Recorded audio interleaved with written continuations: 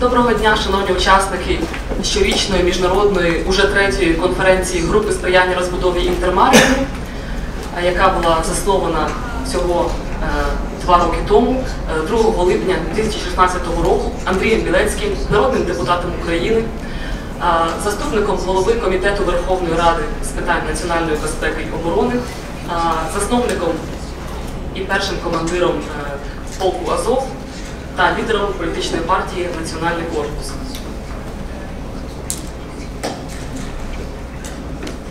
Мене звати Олена Сидоняка. Я представляю координаційну раду групи сприяння розбудові інтермаріуму і ретроспективно оцінюючи діяльність, мені надзвичайно приємно відзначити стабільне зростання інтересу до ініціатив групи з боку української громадськості, бачачи повний зал сьогодні. Але передусім я б хотіла подякувати закордонним гостям і учасникам конференції, які прибули на наш захід.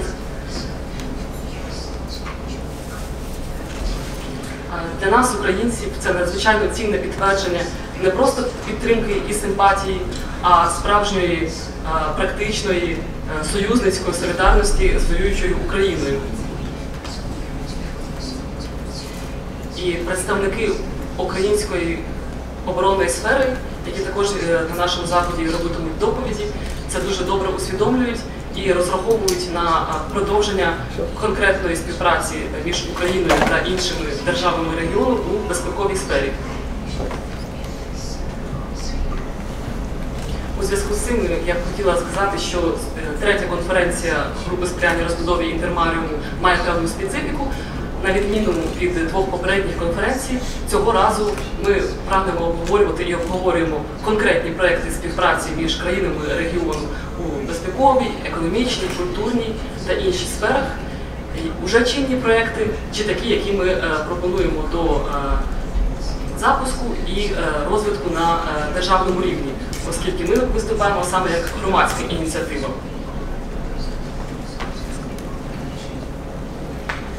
І е, цього разу також наша конференція розбита на дві основні секції: це секція регіональної безпеки і оборони е, та секція цивільного співробітництва.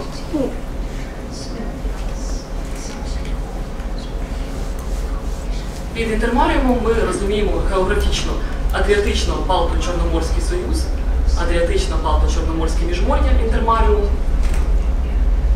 І на сьогоднішньому заходу присутні три основні пути цього атлетичного Балто-Чорноморського інтермаріуму: Хорватія, представники країн Балтії. Е, і, е, звичайно, країни, які можна вважати певним ядром і е, третім кутом інтермаріуму. В цьому сенсі цими країнами є Польща та Україна як ті найбільші східноєвропейські країни, співпраця оборонних потужностей, промисловостей яких обіцяє стабільний фундамент для інтермаріуму як геополітичного союзу. Як новітньої співдружності центрально-східноєвропейських націй.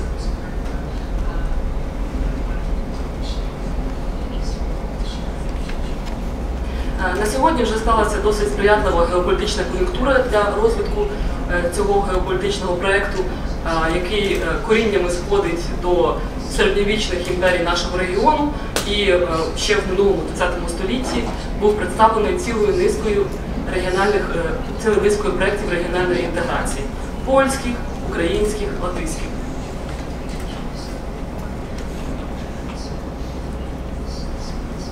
На сьогодні ми знаємо, що створено Вишеградську четвірку.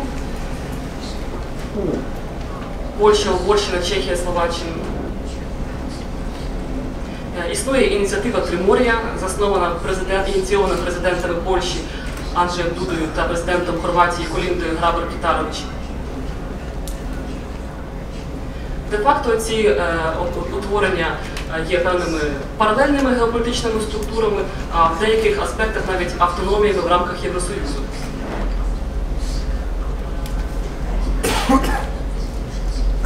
І їхня поява зумовлена безумовно об'єктивними потребами оборонного е, і культурно-демографічного характеру, які ми обговоримо сьогодні на на конференції. Е, Для України, як ми знаємо, е, Термаріум це передусім оборонний союз, поява якого знову таки обумовлена об'єктивними геополітичними факторами, передусім російською агресією, анексією Криму, окупацією Донбасу, східних областей України.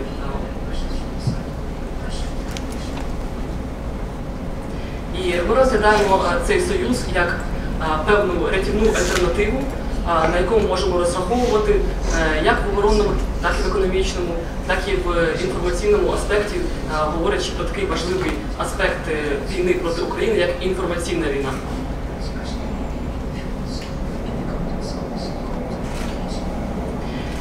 І обов'язковою умовою для розвитку цього союзу для нас є відновлення політичного суверенітету України, зокрема в контексті фактичного денонсування Будапештського меморандуму.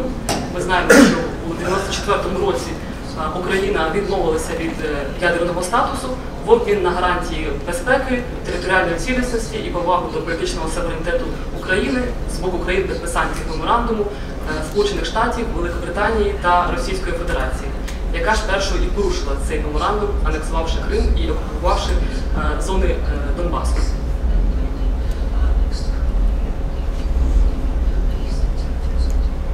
Е, І група спеціальної збудови Інтермаріуму вважає, що Україна має усі підстави поновити дискусію про ре- реанімацію нашого ядерного статусу. І таким чином Україна могла б утворити ядерний щит для всього Атлантичного Балто-Чорноморського регіону.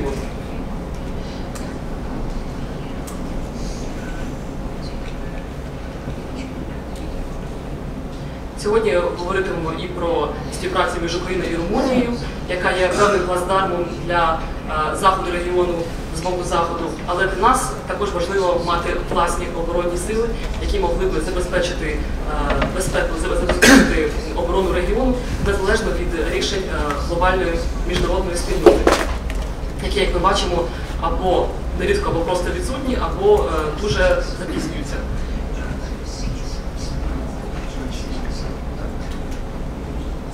Зокрема, нас турбує невизначений статус е, е, сучасного Калінінграду, який, як ми розуміємо, також є плацдармом Російської Федерації в Європі.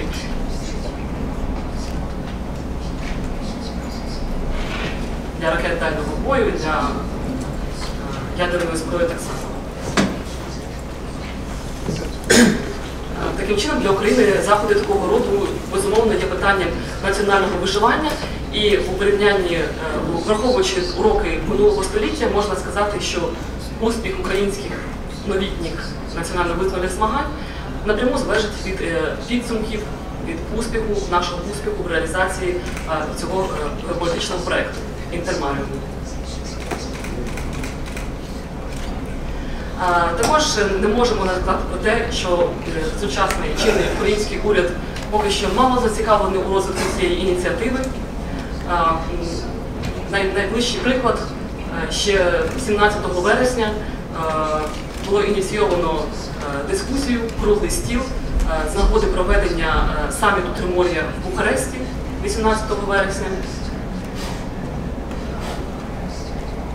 На ньому був присутній спікер Верховної Ради, представники посольств Польщі та Румунії.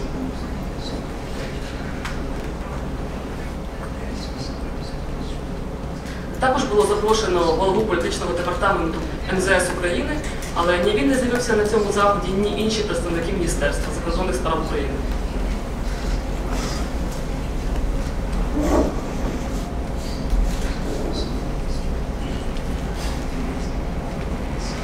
Це означає, що ініціативу в свої руки маємо брати ми. По суті, громадська організація, яка станом на сьогодні, можливо, досягла більших успіхів у розвитку регіональної співпраці, ніж, на жаль, офіційна влада України.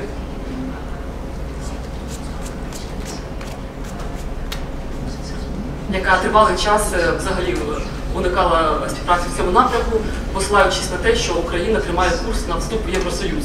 Як ніби е, нормою сучасної геополітики не була багатовекторна власна геополітика і наявність паралельних геополітичних структур. Найближчий приклад це Північна Рада як координаційний е, орган е, міждержавної співпраці, який е, координує діяльність парламентів країн Північного регіону, власне, Норвегії, Швеції, Ісландії, Данії, Фінляндії. І причому всі країни належать до різних військово-політичних блоків. Частина їх належить до ЄС, інша частина не належить, частина належить до НАТО, інша ні. І в цьому плані Північна Рада також могла би бути певним зразком, рольовою моделлю для інтеграції країн інтермаріуму, деякі з яких, більшість яких є членами Євросоюзу і НАТО, як Польща, країна Балтії, деякі перебувають у позаблоковому статусі, як Україна, а деякі як Білорусь, як ми розуміємо, повністю залежать від Російської Федерації. Однак є ключовими у е, налагодженні регіональної співпраці. І ми розуміємо, що наразі немає виправдання для української влади в плані незацікавленості іні- ініціативами з розбудови Тримор'я е, і інтермаріуму, хоча б тому, що нещодавно міністр закордонних справ Німеччини також виразив офіційне бажання долучитися до ініціативи Тримор'я і поглибити співпрацю з центральною і східноєвропейськими країнами. Тобто навіть формальних перешкод для розвитку інтермаріуму немає. Але знову таки цим чомусь займаємося ми, а не офіційна українська влада. Зокрема, е, підписанти національного маніфесту, е, такі партії, як Національний корпус, е, Свобода, Правий сектор та інші політичні сили, також мають одним зі своїх програмних пунктів розбудову інтермаріуму.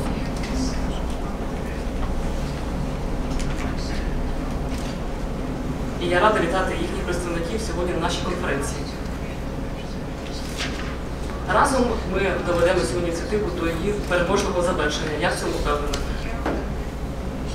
Нарощуючи оберти е, щороку і також організовуючи проміжні е, заходи не тільки в Україні, а й в інших країнах регіону.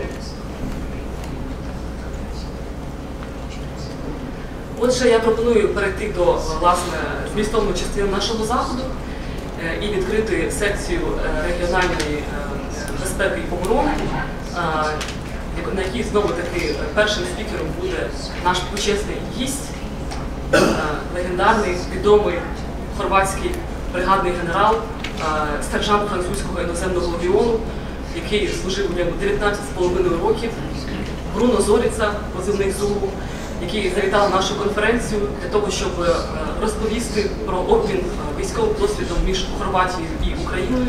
Ми розуміємо, що е, цей кут Адріатичного Балтично-Морського інтермаріуму не просто відіграє, ключову роль у цьому геополітичному союзі суто структурно і е, е, геополітично в сенсі е, географічного розташування виходу до моря.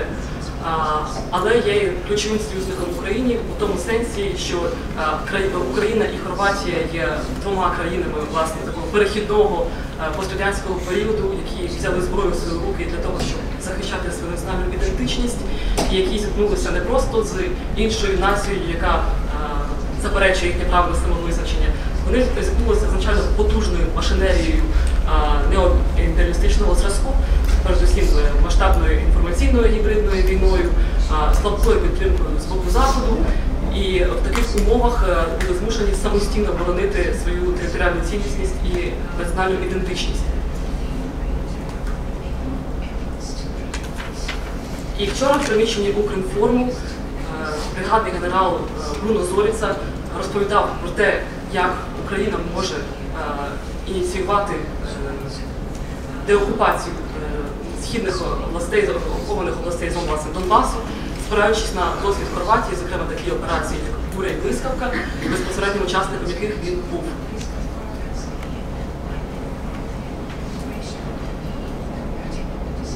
В Хорватії його дуже відоме і за її межами згадуються часто поряд з іменами Андрея Готовіни, з іменами Желька Глазневича та інших е, відомих е, військових облич Хорватії, які е, власне на, на, на плечах яких і тримається визволення, національне визволення цієї країни. І також Бруно Зоріца не просто захищав Хорватію і служив французькому іноземному легіоні майже 20 років. Він також створив е, школу власне командирів в Хорватії, е, прагнучи е, стосувати отриманий у французькому іноземному легіоні військовий досвід на благо нації і підготувати командирів, які могли би взяти в свої руки оборону держави, яка була абсолютно не готова до проголошення своєї незалежності у 91-му році.